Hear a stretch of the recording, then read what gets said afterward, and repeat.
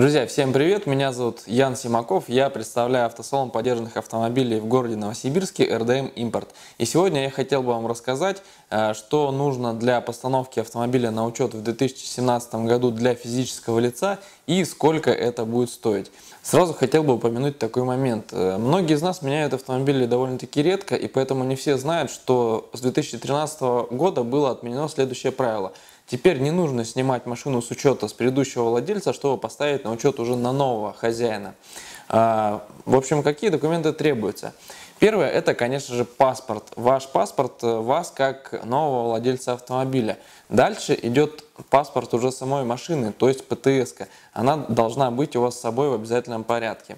А, что еще требуется? Если ваш автомобиль э, стоял на учете ранее, то возьмите с собой обязательно свидетельство о регистрации. Плюс ко всему, что еще должно быть обязательно?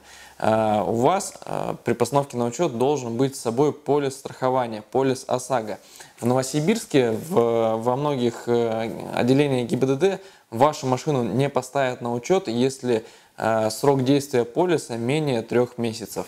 Также вашу машину не поставят на учет, если ваши права на автомобиль никак не будут подтверждены. Проще говоря, вам нужен договор купли-продажи.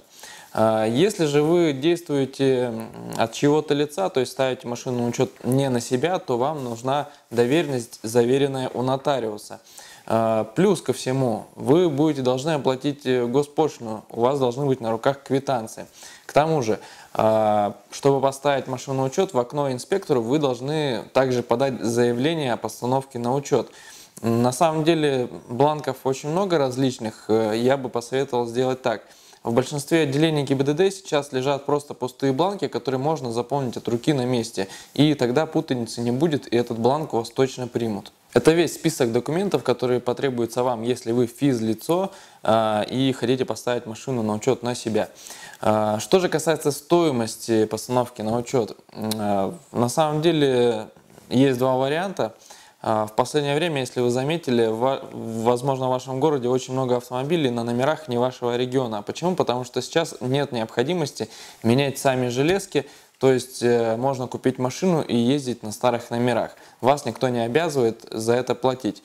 В общем, если вы просто хотите внести изменения в птс то есть перерегистрировать машину на себя, за это с вас возьмут минимум 850 рублей. Из них 500 рублей это будет замена свидетельства о регистрации и 350 рублей это внесение изменений в паспорт транспортного средства.